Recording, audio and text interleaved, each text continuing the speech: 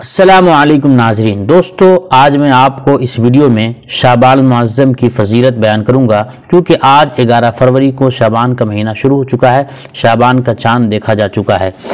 दोस्तों, आपको इस वीडियो में बताऊँगा कि शाबान की फजीलत क्या है, शाबान में कौन सी इबादतें करनी चाहिए, शाबान में रसूलुल्लाह सल्लल्लाहु अलैहि वसल्लम की कौन सी एक बड़ी तमन्ना पूरी हुई थी, और इस माह के अंदर रसूलुल्लाह वसल्लम के कौन सबसे चहेते पैदा हुए थे और इस माह की और भी बड़ी बड़ी खसूसियतें हैं और बड़े बड़े फ़ायदा की चीज़ें हैं जो इसमें आपके सामने बयान किए जाएँगे। आपसे गुजारिश है कि वीडियो को पूरा देखें और वीडियो को लाइक, चैनल को सब्सक्राइब कर लें और बेल आइकन में जाकर के आल के बटन पर ज़रूर क्लिक कर लें।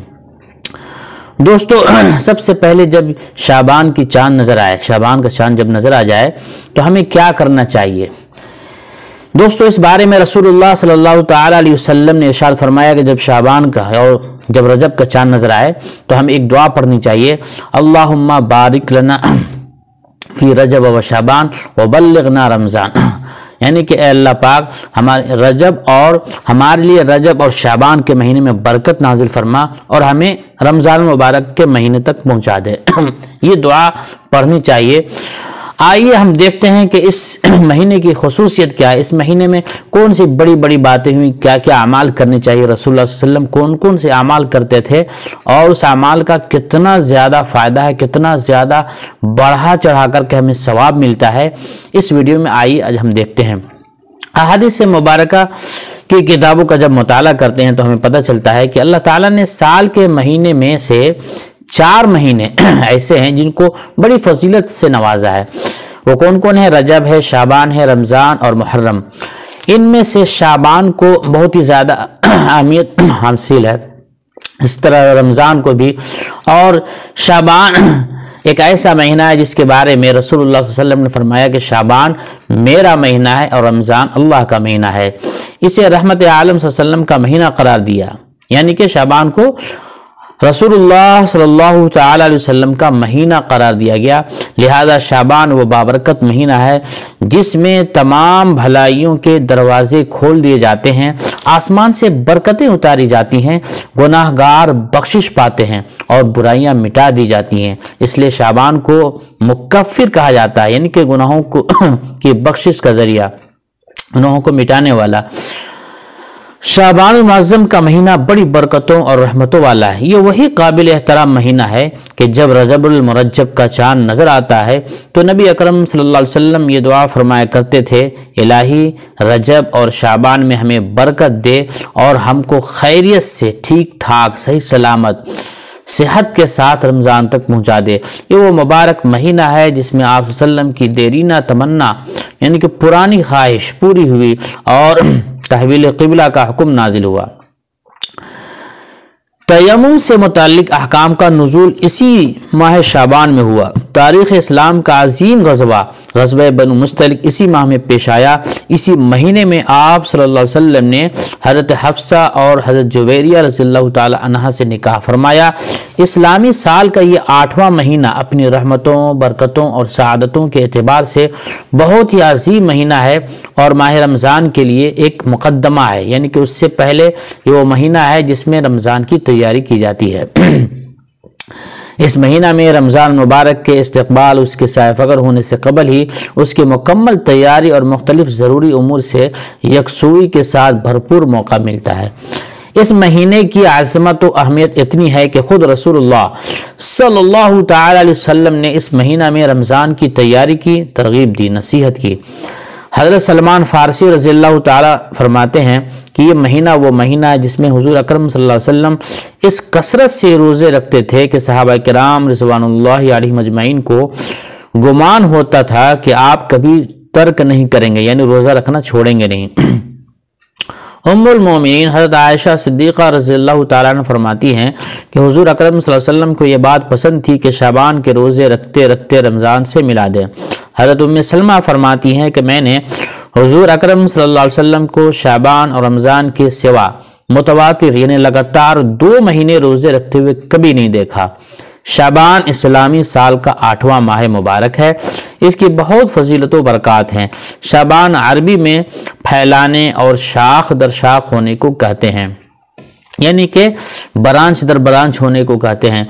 क्योंकि इस महीने में भी अल्लाह ताला की तरफ़ से नफली रोज़े रखने और नेक आमाल करने वाले को शाख दर शाख बराबर बढ़ने वाली नेकी और खैर भलाई का मौका मैसर आता है।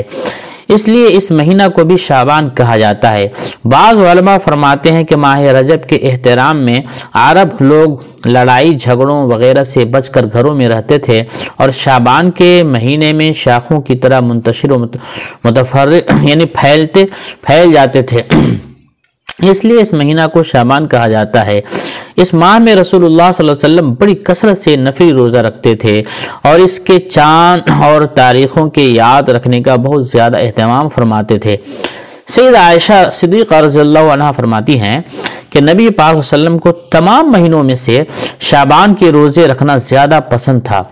इसलिए आप वसल्लम इस माह मुबारक में कसरत से रोज़े रखते और इस और मैंने शाबान के अलावा और किसी माह में हजूर को इतने रोज़े रखते नहीं देखा। शाबान को इसलिए शाबान कहा गया है कि इससे खैर कसर निकल, बहुत भलाइयाँ निकलती हैं। शाबान दरअसल शौब से मुश्तक है। इसका माना पहाड़ को जाने वाला दुशवार गुजार रास्ता है, या घाटी भी है।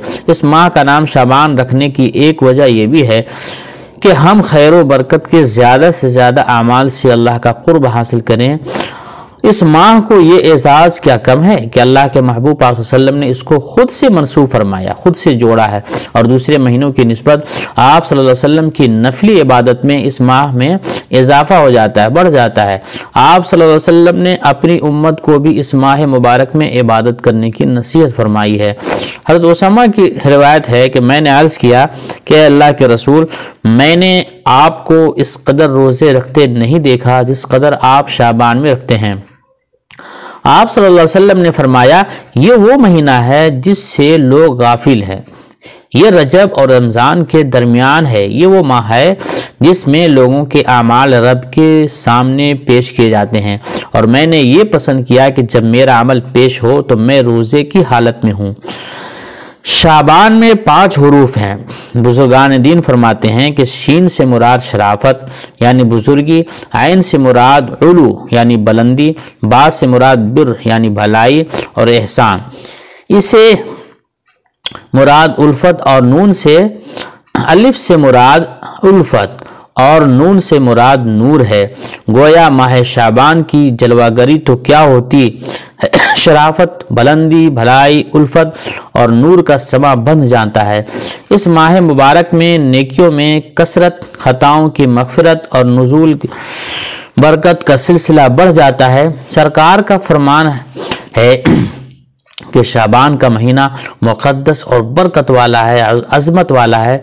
इस माह में इबादत का अजर सवाब बहुत ज़्यादा है। हर सैदना अनस रज़ी तन फरमाते हैं कि माह शाबान का चाँद नज़र आते ही साहब कराम तिलावत कलाम में मशगूल हो जाते और अपने अहवाल की ज़क़़त निकालते हुकाम कैदियों को तलब करते, जिस पर हद कायम करना होती, कायम करते बाकी मुजरमों को रिहा कर देते, ताजर अपने कर्जे अदा कर देते और दूसरों से अपने कर्जे वसूल भी करते नबी पाक वसल्लम ने फरमाया कि जो कोई मुसलमान माह शाबान में तीन रोज़े रखेगा और अफ्तार के वक्त मुझ पर तीन बार दरूद पाक पढ़ेगा, उसके गुनाह बख्श दिए जाएँगे और उसकी रोज़ी में बरकत की जाएगी और क़यामत के रोज़ अल्लाह उसे जन्नती ऊटनी पर सवार करेगा। उसी पर सवार होकर जन्नत में जाएगा और जो कोई शाबान की पहली और आखिरी जुमरात को रोज़ा रखेगा तो अल्लाह के ज़िम्मा, करम पर है कि उसको दख, जन्नत में दाखिल फरमाएगा। इस माह मुबारक की एक और ख़ासियत यह है कि इसी माह में तहवील किबला का हुक्म आयन नमाज़ के दरमियान नाजिल हुआ। यानी कि इसी महीने में जो खाना काबा की तरफ़ पहले नमाज़ मुँह करके पढ़ते थे। वो हुक्म हो गया था कि अब मस्जिद अक्सा की तरफ़ रुख करके नमाज़ पढ़नी है। लेकिन हुजूर वसल्लम की ख्वाहिश और तमन्ना ये थी कि पहले जिस तरह से हम खाना काबा की तरफ़ मुँह करके नमाज़ पढ़ते थे, उसी तरफ़ हमारा किबला हो जाए। तो रसोल्ला वसल्लम को इसी माह मुबारक में, जहर की नमाज़ में तीसरी रकत में हुक्म हुआ कि आप अपना किबला मोड़ लें यानी खाना काबा की तरफ़ वापस कर लें और उसी की तरफ़ नमाज़ पढ़ने का हुक्म हुआ।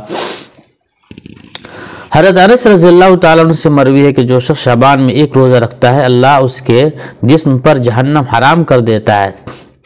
हदीस में आता है कि शबान मेरा महीना है, उस माह में जो अल्लाह ताला की रज़ा के लिए दस रोज़े रखेगा, उसके लिए मेरी यानी हुजूर पाक वसल्लम की शफात हलाल होगी।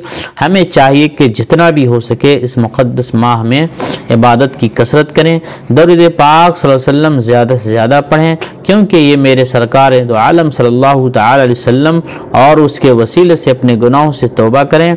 अल्लाह हमें हम सबको अपना ख़ास हम सब पर अपना ख़ास फजल फरमाए और इस मुक़दस महीने में ज़्यादा से ज़्यादा इबादत की तोफ़ी अदा फरमाए, फ़िक्र आखरत की तोफ़ी अदा फरमाए और अल्लाह पाक से हम सब दुआ करें कि अल्लाह पाक हमारे मुल्क हिंदुस्तान, हमारे वतन अज़ीज़ में अमन की फ़िज़ा कायम फरमाए।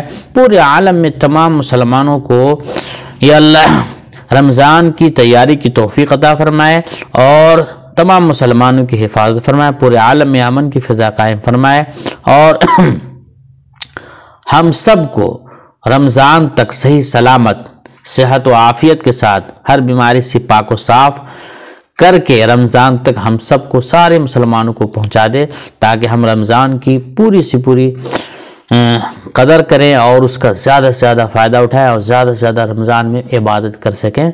अल्लाह पाक हम सब की दुआओं को कबूल फ़रमाए। वालकम वरहमल वर्का